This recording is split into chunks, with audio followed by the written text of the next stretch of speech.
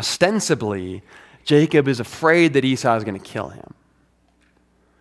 But what I think the author is trying to tell us is that what Jacob is really afraid of is standing face to face with the person he's hurt. And maybe you understand this. You have injured someone, or you've hurt someone or maybe you've offended someone in some way, and somehow you have become aware of that, and you know, you knew it was wrong, and now you want to own it, and so you sent them an email, or a gift, or a letter, or some kind of symbol of your apology because it felt safer than showing your face. And I have done that.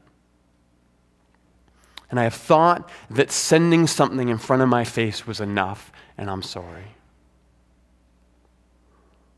Now, hear me. There are times and there are situations where the injury is so deep that showing your face might actually make things worse. Please do not show up at the workplace of your ex and apologize for everything that you have done wrong and tell them you're glad they've moved on and found a new partner. That's not an appropriate thing to do. But if the reason that you are putting a gift or a letter or an email or a DM in front of your face is because you are trying to protect yourself from the weight of your actions. Then you need to understand that sometimes some things need to be done face to face.